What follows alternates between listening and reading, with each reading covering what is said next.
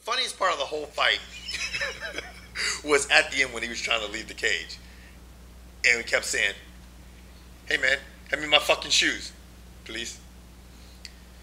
Hey man, hand me my fucking shoes, please. Who was this? It was Diaz when he was trying to when he was trying to exit the ring, man. If you get to see that clip, that is the funniest fucking shit.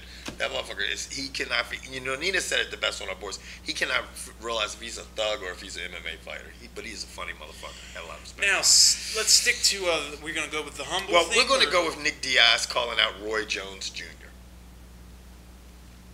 Now, a- okay, this happened with Anderson Silva and stuff like this, but Diaz just came straight out and said he wants to fight Roy Jones Jr. In Now, a boxing match, you're gonna get wrecked. In an MMA fight, you'll win. Right. In an MMA fight, Diaz, you will you will work Roy Jones Jr. So I think all, all of us knows that kno- knows that. Oh my God, I'm plur- I'm pluralizing everything. Is pluralizing a word? word?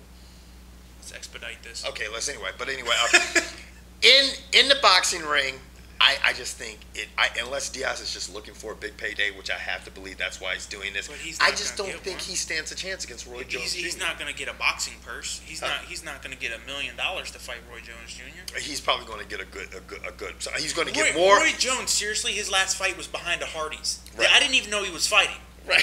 Roy Jones isn't even a big draw anymore. But the fact is, the draw he can get will still be more people in the world know about Roy Jones than they do about Diaz. That's that's just a More fact, people know about Roy Jones than they know about MMA. right? And that's the fact, and that that Well, will get him a big. Payday. You know payday. what? If you can get a big payday for it, go for it. Get your ass whooping and smile. All the way I don't the see it happening because he had a problem with KJ Noons, and Now- KJ Noons is a pro boxer. Speaking with guys who are trying to make